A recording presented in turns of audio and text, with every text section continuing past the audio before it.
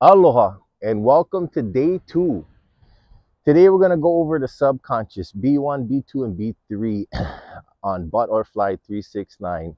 But this morning, I want to highlight that path test that you can take. So right in the middle of the app, you'll see uh, self tests. There's three tests in there. I'll go over the other two in time. But today it's the four questions that you can answer and it'll tell you what path that you're on, either the rabbit path or the turtle path.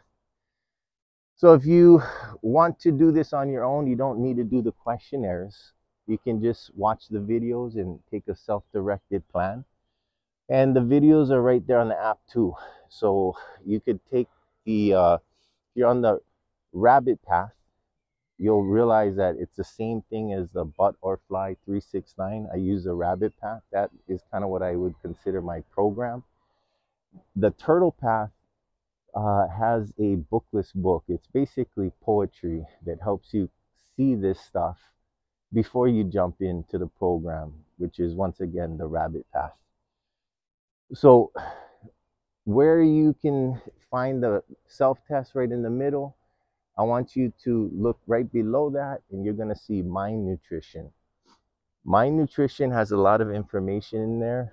Um, you can find YouTube videos that I've saved for meditations, as well as a few apps that I use, such as YouTube's app. Um, there's another app called 10% Happier. This is a paid subscription account, but they do have a 30 day trial.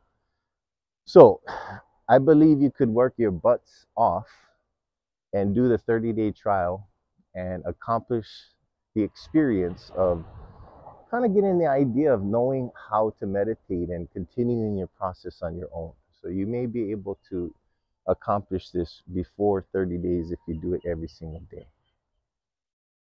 So today, I guess what I wanted to share with you is the subconscious.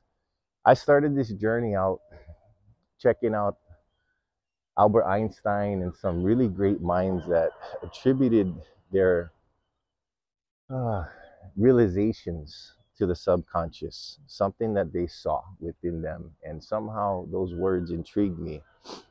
And I wanted to understand that more and got into Joe Dispenza, which is an awesome um, person on YouTube, Dr. Joe Dispenza uh, he talks about the healing properties and discusses the placebo effect and what he believes the placebo effect is evidence that we can heal ourselves. Many, many different things that are outside of the conventional way of thinking about the subconscious is out there on YouTube.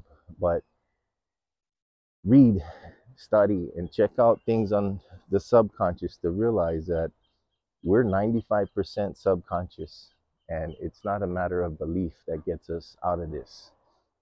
It's a matter of what we know. Good luck on your journey. Aloha